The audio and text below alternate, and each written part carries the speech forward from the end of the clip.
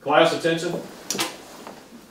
The Grand Prairie Fire Department Training Academy is starting its first class.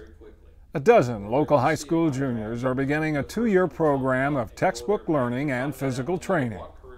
I just want to help people in any way that I can, you know, just trying to make a difference, change the world.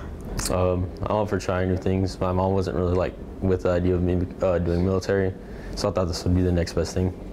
To be in the academy, a student must have good grades and attendance, then pass an interview and agility test.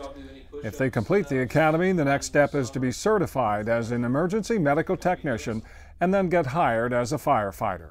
We understand not everybody will be able to go to college, so we wanted to provide a vocational opportunity as a firefighter EMT for our high school students. So when they graduate high school, they will be job ready for any fire department across the state. And if they decide firefighting isn't for them, the students still come away with college credits and some valuable life skills. Because you're going to learn how to take care of people.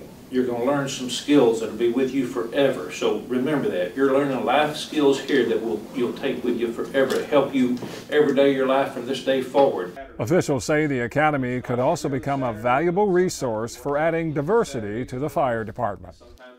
Saturday.